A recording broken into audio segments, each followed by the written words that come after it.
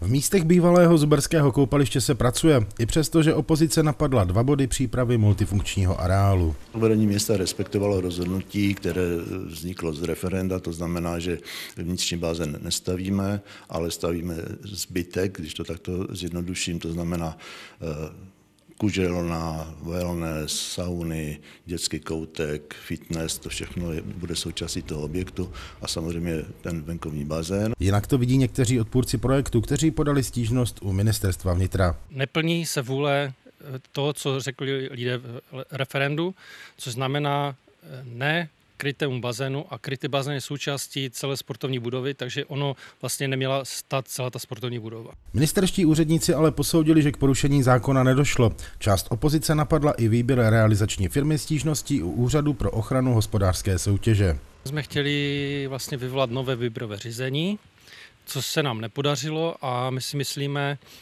a tam jsme to napsali do té stížnosti, že firmy byly vlastně diskriminované tím, že museli mít v zadání, že vyhotovili pět bazénů za poslední pět let, což což bylo dost tvrdé a tím, že odpadl ten krytý bazén, tak jsme si mysleli, že by se to dalo zmírnit.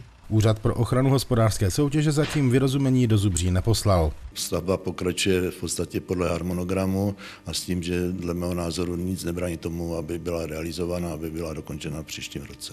Celá stavba, včetně venkovního koupaliště, má přijít na 107 milionů a Zubří chce financovat z vlastních peněz.